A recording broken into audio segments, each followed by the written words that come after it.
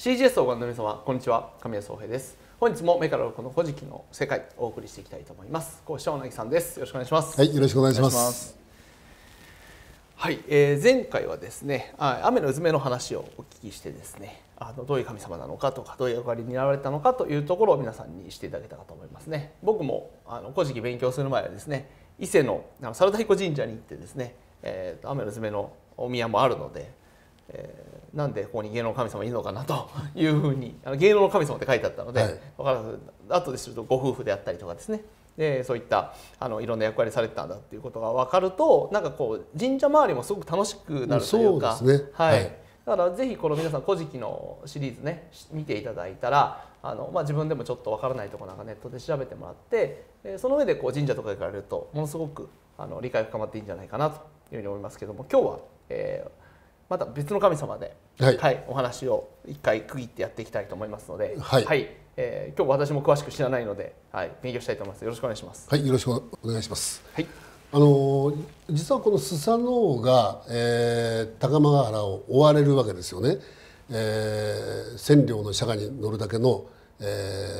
ー、罰金、まあ、罰金というのは昔あの紙幣とかコインはないですからあの罰金というのは要するに食べ物それが1,000両の車に乗っかる要するに1,000台のトラック。軽トラックぐらい まあでも大変な量ですよね、はい、それだけの量の食べ物を罰金として払いなさい、うん、それから両手両足の爪を全部引っこ抜く。からその神しかも神様としての霊力を奪った上で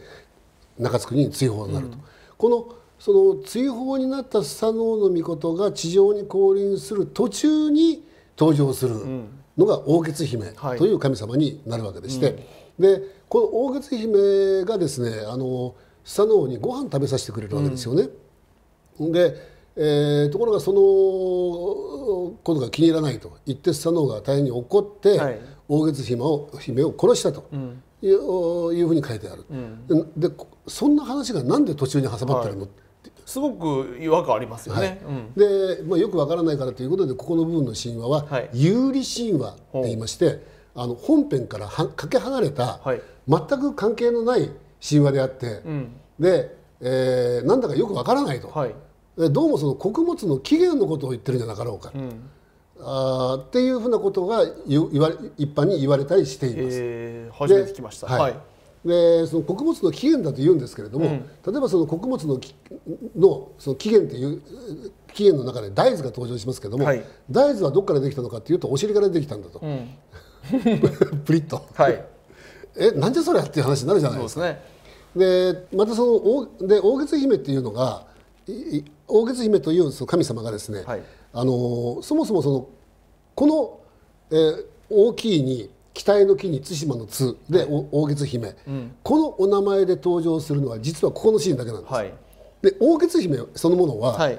一番初めのところでイザナギとイザナミが国生み神話のところで阿波国の大月姫ということで、ちゃんとお名前が登場してるんです。うんうん、でさらにこれよりもずっと後、はい、このスサノあのスサノオの物語とはまた別な別なずっと後のところで大月姫はまたあの違う神様とですね、えー、早的の神という神様と大国主神話の途中で結婚しましたよ、とい。うことでまた登場するんです、うん、殺してないじゃんって、うん、いうことになるんですね。まあ出てくるんですね。はい、じゃあ殺すってどあのどういう意味を持った感じなのかと思って調べてみると、うん、あの今では人人の命を奪うという意味で使われますけどももともとはただ殴ったっていう、はい、そういう意味でしかない。なるほど、はい。はいはい、つまりスタノオが怒って大月姫をこう殴った、うん、まあ、要するに叱ったというような意味になってきます。うん、で、えー、なんで叱ったのかというと、はい、極めて不衛生な扱いをしていた。うん。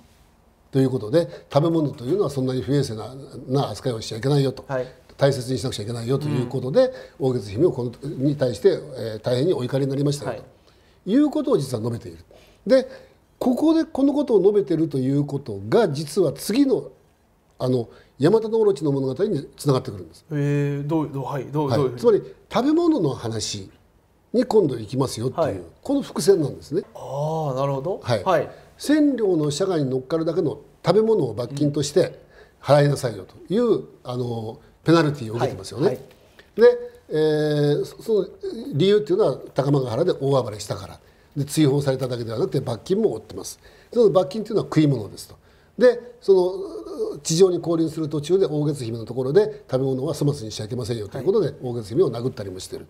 でいよいよその奥出雲のあの鳥上村に降臨をして、はい、でそこで大和の卸退治をするわけです。大和の卸っていうのが八本頭の大蛇であるとい。うふうに頭から決めつけてしまって読んでしまうと、うん、この意味が分からなくなります。はい、で、えー、まああの先に結論を申し上げますと「ヤマタのオロチ」って言いますけども「ヤマタ」っていうのはあのたくさんに分かれ,、えー、分かれてるということ。うん、でオロチっていうのはこれはあの、えー、古事記の中で声を用いるっていうふうにちゃんと注釈がありましてへ蛇とは書いてないんですね。大和言葉のオロチですよ、うん、でオロ普通にひらがなでオロチと入れて、うん、スマホでで変換ボタンを押していただきますと、うん、愚かな地面っていう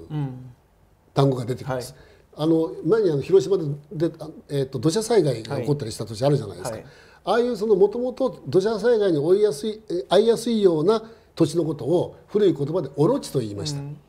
山その四方八方から水が流れ込んできていて非常に水害に遭いやすい。でそういうオロチ。そのオロチというにおいてそのオロチを守るために実はスサノオは大活躍をする。でそのあのオロチでで作られていた穀物というのが、うん、櫛灘姫櫛のように整った畑と田んぼの姫様ということで代表されてるんですけどもそこで栽培されていたものというのが実は大月姫のところの物語で登場するえー、蚕と稲、はいはい、えー、まあ、蚕っていうことは要は桑ですよね、桑の栽培と稲の栽培粟の栽培小麦の栽培麦の栽培大豆の栽培、はい、これを行っていたんだと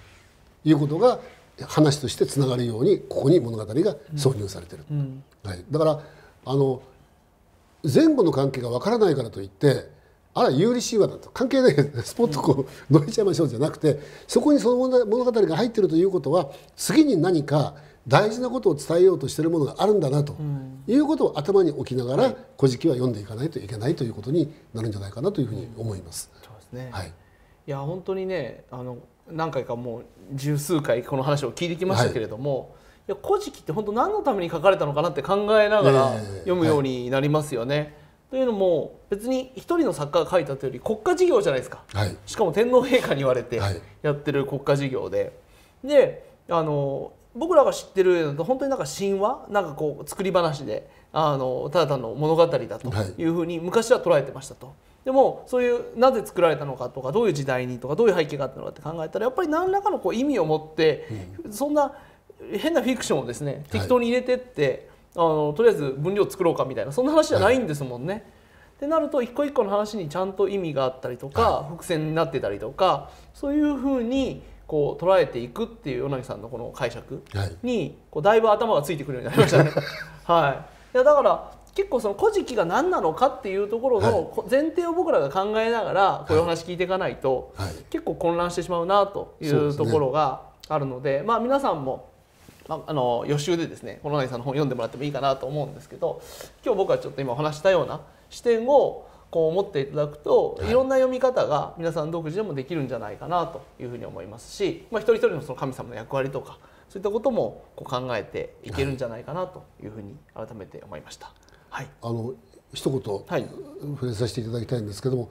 あのこのように読めますよということを申し上げていて、うん、こうでなければならないということはあの申し上げるつもりはないんです。だからいろんな解釈がある、はい、にしてもあの古事記の中では一人の人物その一人の人物というのは大変に熱い思いを持った人物として、えーまあ、人物じゃなくて神様ですね。として描いているというふうなことを申し上げましたけれどもそうではなくてスサノオっていうのは実はあの何人もおいでになって。その一つの時代のあの大きな時代の中で登場したさまざまな物語というそういう見方で「古事記」を読んでいくという読み方もあると思います、はい、だからいろんな読み方がある、うん、ただ失ってはいけないことは常に尊敬の思いを持って、えー、でその学ばせていただくという気持ちで「古事記」を読んでいかないとこれも、まあ、古典全部そうですけどね、うん、あの